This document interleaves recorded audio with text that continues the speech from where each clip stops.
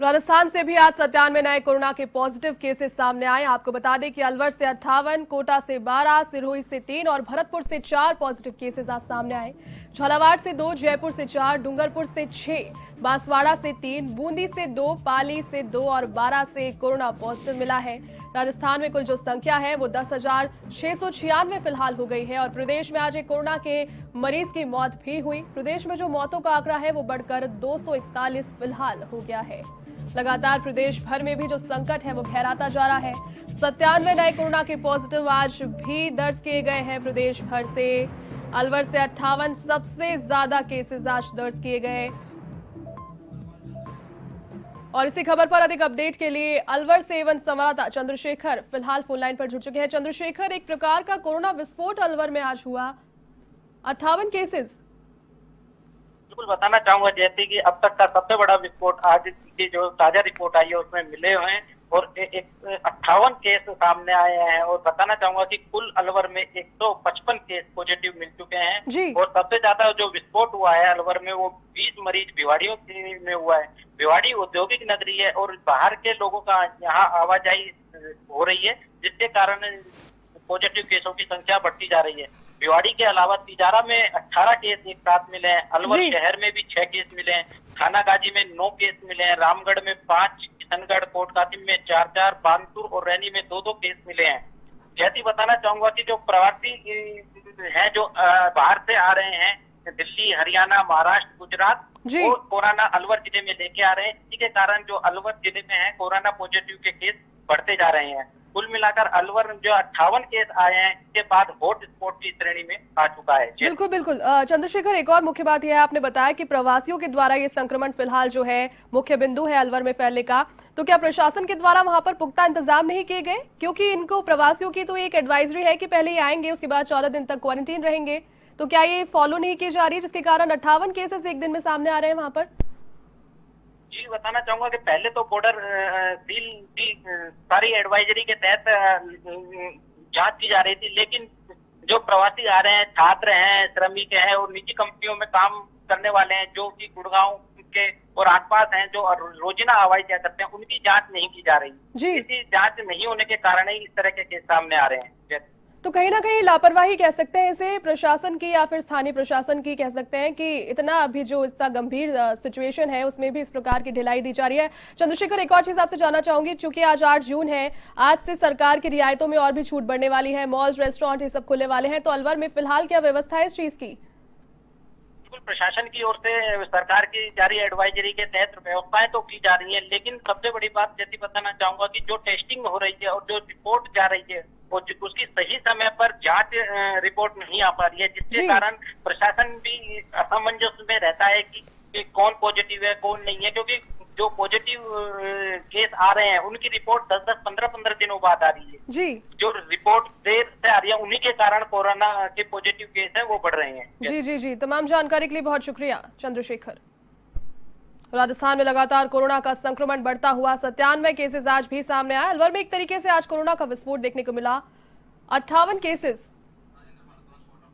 और कोटा से एवं संवाददाता, अधिक जानकारी के साथ राजेंद्र भारद्वाज फ़िलहाल फोनलाइन पर। राजेंद्र, कोटा की क्या स्थिति है फ़िलहाल? बिल्कुल जेती अगर कोरोना पॉजिटिव का आंकड़े की बात करें तो कोरोना पॉजिटिव का आंकड़ा लगातार बढ़ता जा रहा है। कोरोना पॉजिटिव के कुल आंकड़े की बात करें तो 525 कोरोना पॉजिटिव मरीज़ अब तक सामने आ चुके हैं। और आज की जो अगर बात करें तो 12 कोरोना पॉजिटिव मरीज़ आज सामने आए हैं। केंद्र सरकार और राज्य सरकार की गाइडलाइन के बाद में आज मॉलों को खोला गया है। बिल्कुल सुनिश्चित व्यवस्था की गई है। आज मॉल और धार्मिक स्थलों पर लोगों की आवाजाही चालू किया जाए इसलिए पूरे पुख्ता बंदोबस्त किए गए हैं। साथ में जैसे एक और चीज़ बताना चाहूँगा जिस तरह से कोरोना पॉजिटिव का आंकड़ा लगातार बढ़ता जा रहा है वही कहीं ना कहीं कोटा के लिए एक राहत की खबर ये भी है कि कहीं ना कहीं जो पॉजिटिव मरीज़ हैं उनको डिस्चार्ज किया जा रहा है तो वो भी एक बड़ा आंकड़ा है। तो जैसे अगर कुल मिला के कोटा की स्थिति की बात की जाए तो कोटा संवाद के जितने भी मरीज़ हैं, वो कोटा के न्यू मेडिकल कॉलेज अस्पताल में भर्ती हैं और लगातार यहाँ पर मरीजों को डिस्चार्ज किया जा रहा है। तो एक रात की खबर ये भी है और लगातार जो चिकित्सा विभाग है, वो इस पर बेहतर कार्य कर रहा है और बेहतर की रिपोर्ट लगातार लोगों के डिस्चार्ज होने से पता भी चल रही है। जी जी। राजेंद्र, बिल्कुल सही कहा आपने। कहीं ना कहीं एक संतोषजनक बात बताई कि कोटा में अचानक से पहले एक विस्फोट देखने को मिला, लेकिन आपसी सामंजस्य से, उसे प्रशासन का कहे, जनता का कहे, या फिर सरकार का कहे, इस चीज़ को कहीं ना कहीं डील कर लिया गया है। फ़िलहाल जो प्रवासी वहाँ पर पहुँच रहे हैं, या फिर वहाँ से निकले हैं, उनको क्वारंटीन करने की और उनकी सैंपलिंग की क्या व्यवस्थाएँ हैं वहाँ पर? जी जी बिल्कुल अगर प्रवासियों की बात करें प्रवासी मजदूरों की बात करें या उन लोगों की बात करें जो दूसरे प्रदेशों से आए हैं तो लगातार जिला प्रशासन ने गाइडलाइन के ज़रिए क्वारंटाइन सेंटर बनाए गए और साथ में अब अगर बात की जाए तो क्योंकि लॉकडाउन का काफ़ी लंबा समय बीत चुका है बाईस मार्च को कोरोना के लिए लॉकडाउन लगाया गया था तो लोगों में अब समझ और भी बेहतर होती जा रही है। बिल्कुल ही लोग खुद ही लोगों को जागरूक कर रहे हैं और जागरूक के साथ साथ उनको ये बताया जा रहा है यदि कोई व्यक्ति बाहर से आया भी है तो लोग खुद सूचना दे रहे हैं प्रशासन को और उस सूचना के आधार पर जिला प्रशासन के वो मुझसे लोग वहाँ पर पहुँचते हैं और व्यक्ति को क्वारंटाइन कर रहे हैं। अगर बात करें सैंपलिंग की तो सैंपलिंग की भी यहाँ पर पुख्ता बंदोबस्त है और जाँच के भी यहाँ पर बेटर उपकरण यहाँ पर सम्मिलित किए गए हैं। साथ में जैसे एक चीज़ और बताना चाहूँगा जिन इलाकों में कोरोना पॉजिटिव मरीज़ मिलता है तो वहाँ पर ज़ीरो मोबिलिटी की जाती है और ज़ीरो मोबिलिटी का जो पहले जो दायरा था वो अधिक था। मगर जिला प्रशासन ने जिस तरह से अर्थव्यवस्था को भी चलाना है और कोरोना से लोगों को बचाना जान भी है और जान भी है। जी बिल्कुल। पहलू पे जब जिला प्रशासन और केंद्र और राज्य सरकार काम कर रही है तो लोगों को कहीं ना कहीं राहत ज़रूर महसूस हुई है।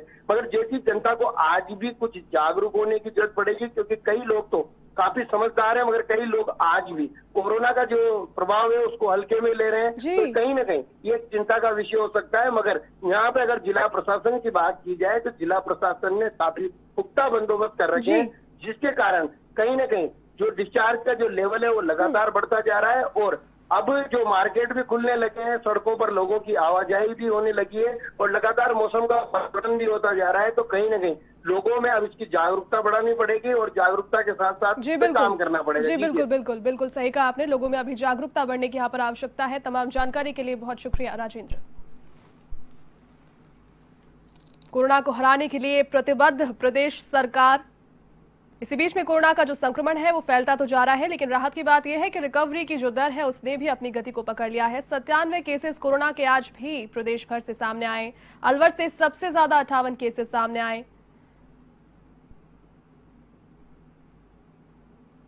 इसी बीच में अनलॉक वन फ़ेज़ फ़िलहाल जारी है। पूरे देश भर में उसी के तहत आठ जून से कुछ रियायतें और जनता के लिए दी गई है। और भरतपुर से एवं संवाददाता राजेंद्र जती फ़िलहाल अधिक जानकारी के साथ फ़ोन लाइन पर जुड़ चुके हैं। राजेंद्र भरतपुर की फ़िलहाल क्या स्थिति है? जानना चाहूँगी आपसे। जी जैसे मैं बताना चाहूँगा कि भरतपुर के हालात अच्छे नहीं है। कोरोना वायरस के जो जो जो पॉजिटिव केस हैं उनकी संख्या लगातार बढ़ रही है। जी। कल छियासठ केस फुल पॉजिटिव मिले थे। और आज हालाँकि अभी जो अपने भरतपुर मेडिकल कॉलेज का और इसका चिकित्सा विभाग का जो बुलेटिन है जी। वो आना बाकी है। वो एक और दो बजे के बीच में आता है और शाम को आठ से दस के बीच में आता है। जी। तब उसमें पता लगता है कि कितनी स्थिति हालाँकि स्टेट का जो जो डिटेल आई है उसमें आज अभी सुबह के चार पॉजिटिव केस बता रहे हैं। कुल छह सौ छिहत्तर पॉजिटिव केस हैं। हालाँकि मैं बताना चाहूँ कि पंद्रह दिन के अंतराल में जो ये केसेज बढ़े हैं उन्होंने भरतपुर को हॉट स्पॉट में ला के रख दिया है कि जहाँ भरतपुर कोरोना वायरस के मामले में राजस्थान में करीब आठ में दसवें नंबर पर था।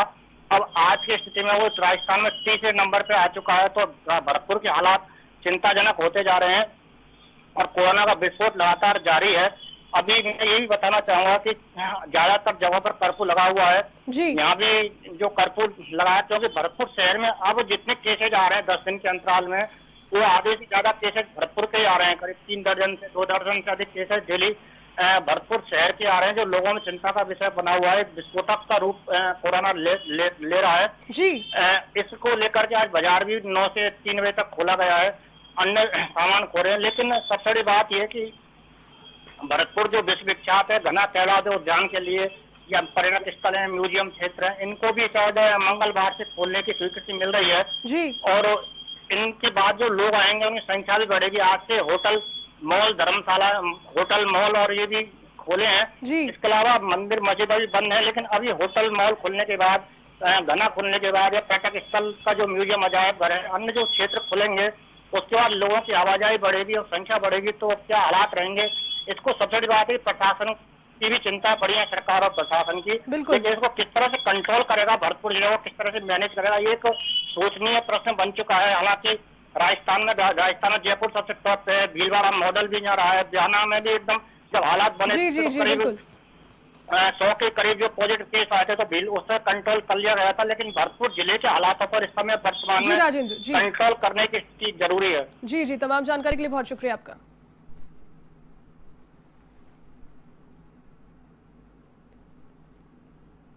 प्रदेश भर से कोरोना के लेटेस्ट अपडेट आपको दे रहे हैं हम। और सिरोही से एवं संवाददाता लियाकत अली। फ़िलहाल अधिक जानकारी के साथ फ़ोन लाइन पर जुड़ चुके हैं। लियाकत आपसे जानना चाहूँगी सिरोही की फ़िलहाल क्या तस्वीर है? हेलो। जी लियाकत आपसे जानना चाहूँगी सिरोही की फ़िलहाल क्या तस्वीर है कोरोना के संदर्भ में? जी बिल्कुल। जिस प्रकार प्रदेश में देश में कोरोना पॉजिटिव के मामले बढ़ रहे हैं उसी क्रम में सिरोही ज़िले में भी कोरोना पॉजिटिव के आंकड़ों में बढ़ोतरी हो रही है। जी। सिरोही ज़िले में अब तक 203 कोरोना पॉजिटिव के मामले सामने आ चुके हैं। वहीं कल देर रात्रि पर्यटन नगरी माउंट आबू में भी पहला कोरोना पॉजिटिव मामला सामने आ चुका है।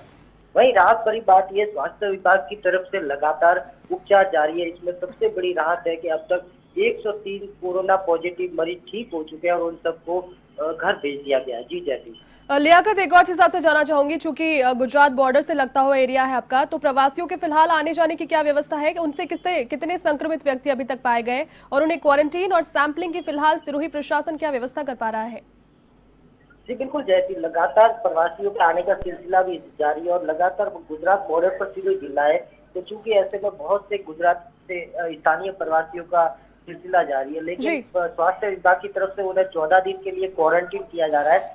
साथ ही जो संदिग्ध है, उन लोगों की सैंपलिंग की जा रही है, या किसी के संपर्क में आने वाले व्यक्ति है पॉजिटिव उनकी भी पहचान करके, उनके भी सैंपलिंग करके स्वास्थ्य विभाग निरंतर कोरोना के लिए लड़ता हुआ नज़र आ रहा है। जी जी जी, अच्छी जानकारी आपने दी, तमाम जानकारी के लिए बहुत शुक्रिया।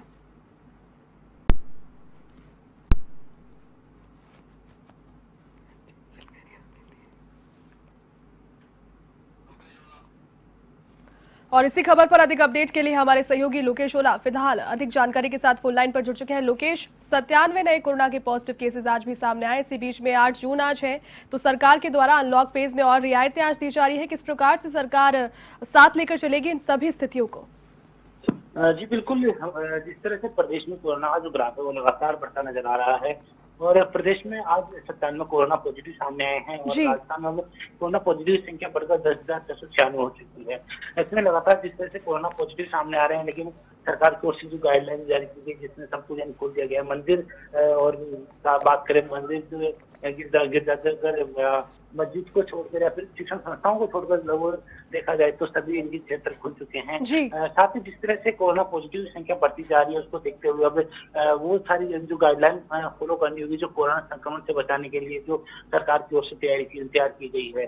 इसी तरह से बात करें तो प्रदेश में जिस तरह से कोरोना पॉजिटिव सामने आ रहे हैं उसमें ठीक होने वालों की संख्या भी लगातार बढ़ती जा रही है तकरीबन सत्तर फ़ीसदी की दर से लगातार जो कोरोना पॉजिटिव वो ठीक होते नज़र आ रहे हैं। और राजस्थान में अब तक सात हज़ार आठ सौ चौदह कोरोना पॉजिटिव है वो ठीक हो चुके हैं। साथ ही साथ सात हज़ार सात सौ पचास को डिस्चार्ज कर दिया गया है। हालाँकि जिस तरह से जो कोरोना पॉजिटिव सामने आ रहे हैं उनमें जो माइग्रेंट्स की बात करें प्रवासियों की बात करें तो तीन हज़ार पचानवे प्रवासी अब तक सामने आ चुके हैं। प्रदेश में आज जहाँ सत्तानवे कोरोना पॉजिटिव सामने सामने आए हैं उसमें अट्ठावन केवल अलवर में पॉजिटिव केस सामने आए हैं। जो अलवर में बात करें तो अब तक एक सौ चालीस कोरोना पॉजिटिव सामने आ चुके हैं लेकिन सबसे अधिक कोरोना पॉजिटिव की बात करें तो जो जयपुर में सबसे अधिक अब तक कोरोना पॉजिटिव सामने आए हैं और जयपुर में अब तक दो हज़ार दो सौ तीस कोरोना पॉजिटिव सामने आ चुके हैं। हालाँकि अठारह सौ अड़तीस जो कोरोना पॉजिटिव केस थे वो ठीक भी हो चुके हैं। तो ऐसे में बात करें तो एक्टिव केसेज की तो 280 जो एक्टिव केस है वो अभी मौजूदा समय में जयपुर में है। एक्टिव केस में सबसे अधिक जोधपुर में अभी एक्टिव केस है और जोधपुर में चार सौ पिचासी जो एक्टिव केस है वो अभी मौजूदा समय में है। लेकिन जिस तरह से कोरोना पॉजिटिव ठीक हो रहे उसमें छोटा फ़ीसदी की दर से जो ठीक होने का जो आंकड़ा है वो लगातार बढ़ता नज़र आ रहा है। और उसी तरह में बात करें तो प्रदेश के पहले पायदान पर है जो राजस्थान ठीक होने वालों की संख्या में। हालाँकि मृत्यु दर भी लगातार इनकी कम होती नज़र आ रही है लेकिन जिस तरह से आज एक जो कोरोना पॉजिटिव की मौत हुई है और अब तक प्रदेश की बात करें तो प्रदेश में दो सौ इकतालीस जो कोरोना पॉजिटिव केस थे उनके जो मरीज़ थे उनकी मौत हुई है। ऐसे में जयपुर में अब तक सबसे अधिक कोरोना से मौतें सामने आई हैं और जयपुर में 112 अब तक जो कोरोना के जो पॉजिटिव केस थे उनमें 112 लोगों की जो मौत है वो हुई है। जिस तरह से सरकार की ओर से तमाम कोशिश की जा रही है कोरोना संक्रमण को रोकने के लिए, लेकिन इस बीच सभी अर्थव्यवस्थाओं को ध्यान में रखते हुए सभी क्षेत्रों में छूट दी गई है। लेकिन जिस तरह से कोरोना संक्रमण को रोकने के लिए या फिर अपने आप को बचाने के लिए जो गाइडलाइन जारी की गई, उसका जो निश्चित जो पालन करवाने का जो कार्य है, वो सरकार की ओर से किया जा रहा है। तभी इस कोरोना संक्रमण को और रोकने में सरकार कामयाब होगी। जी, तमाम जानकारी के लिए बहुत शुक्रिया, लोकेश।